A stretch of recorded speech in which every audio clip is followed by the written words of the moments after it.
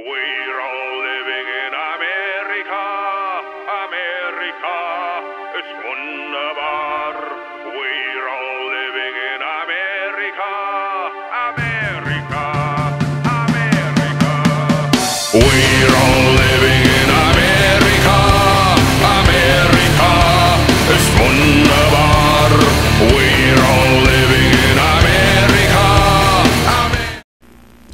what's up YouTube? This is Silverbender188 and today in this tutorial I'm going to be teaching you how to make that lift you just saw. Now you're going to go ahead and start up your forge.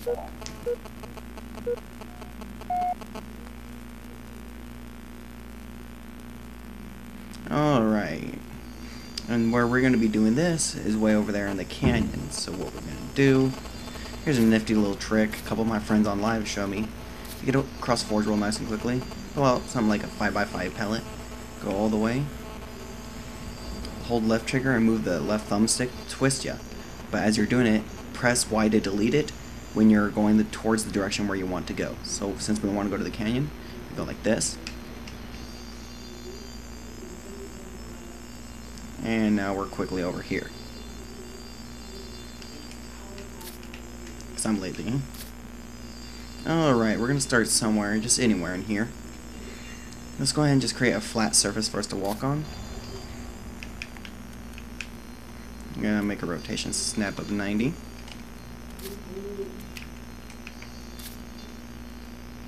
Since everyone's a Nazi about the edit coordinates deal, I found a cheap little trick. Just get it to the relative close position where you want it to be. Then go to edit coordinates. You shouldn't have to edit too much. Okay.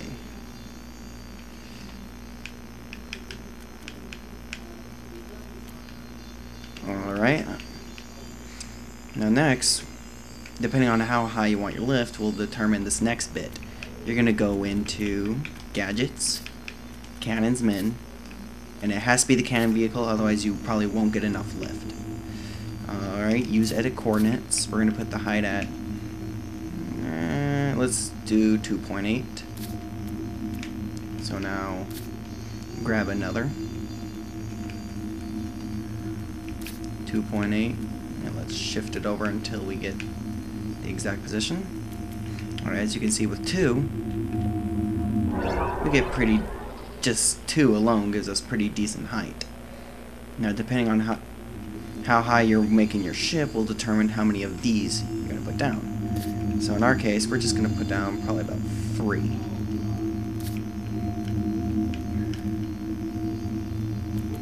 Alright, there we go. Now you're going to test it. See how high you go? And exactly where you want it to be. Turn into monitor. Next, we're going to go to... Uh, we'll use one-way shields. 2. Set the snap to 90. And depending on how you want to enter your lift, will now lift up a little bit. That way it's more over where you want it to be. Now go back down to your... Now keep in mind when going this, do not hold forward if you want accurate uh, results. Just walk into it and just go straight up. Let go. See, make, make sure you pass it. Okay. Seeing that we pass it, what you use as the tunnel is up to you, but I always like to use the actual tunnel piece. Which I always forget which end it's in. Decorative? No.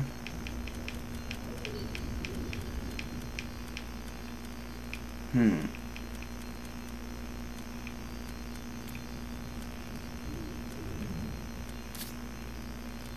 Yep, there it is. You're going to want to go with tunnel short.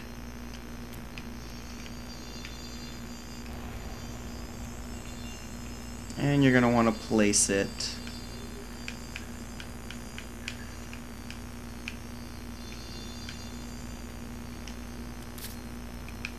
Another reason why I don't like using the thing is it'll mess up us, that kind of stuff. See, what is that? With, with edit rotation, or with edit coordinates, it does not work with all the rolls and stuff. So that is one of the reasons why I don't like to use it. Alright, now.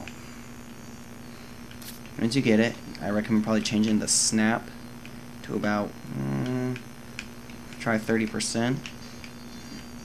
And you basically want a kind of a gradual increase to help cushion the the entry of the tunnel.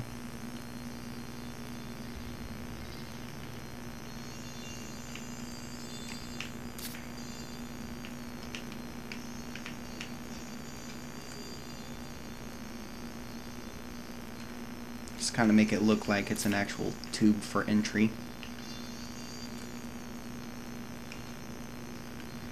Alright, see, there you go. And now, we're going to test it. I mean, granted, I already know it's not going to work, but I'm going to show you why. And how, it how we do get it to work. See if we go up.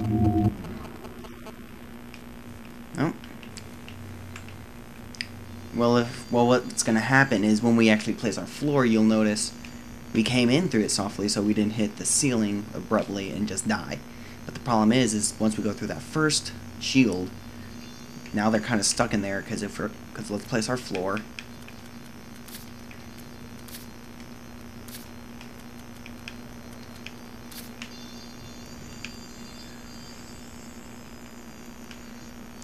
Kind of get it in that hook you see right here.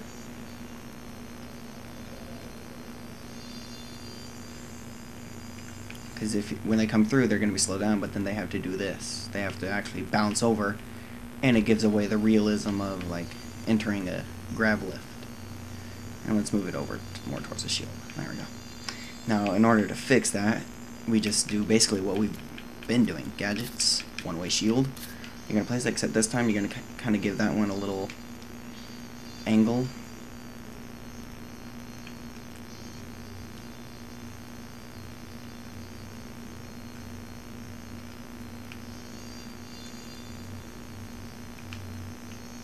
and then the final one to help prevent campers hiding inside the tunnel and such. There you go. So now if we go back down, and we go through, come back up, up here. Now, you don't have to do this, a lot of people don't like it, but you can use this basically as an anti-camping tool. Go ahead and go into spawning, kill boundaries, a standard kill boundary. You're going to turn it into a box, decrease the width to about 0.3. Go ahead decrease the top. Actually, let's go ahead and decrease the bottom down to 0.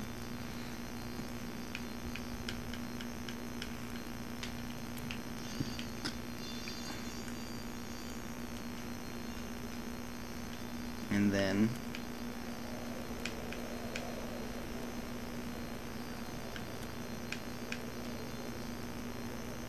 make it about a 2 and then the length decrease it to where it's about the kind of center it and get about the rough shape of the entry maybe make it just a little bit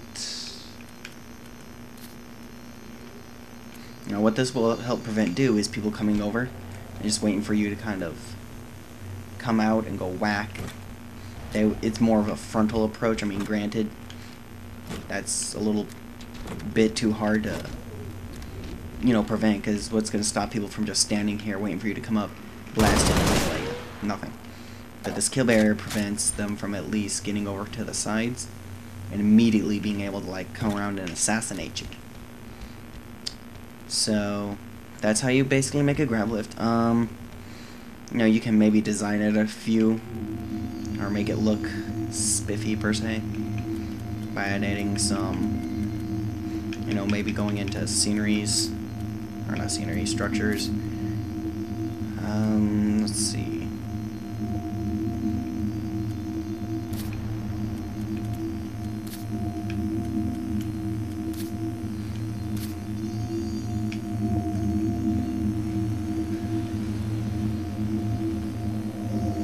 Kind of make it look... I don't know, just kind of spruce, spruce up the area, make it look more of a... Kind of like an actual grav lift versus just a thing cannon right there. I mean, grant, yes, that's a little half-assed right there, but um, and one reason you wanted to make sure you don't hold forward when going up is this reason. See, I'm holding forward. You just hit your roof. You just hit your head right up on the roof. So, you know, you want to generally stay away from doing that. So, yeah. Uh, this has been Silverbender188. Thanks for watching. Sorry I haven't made one of these in a while. But I'm still here and I'm still making them. And I'll see you in my next Forge World tricks. Bye.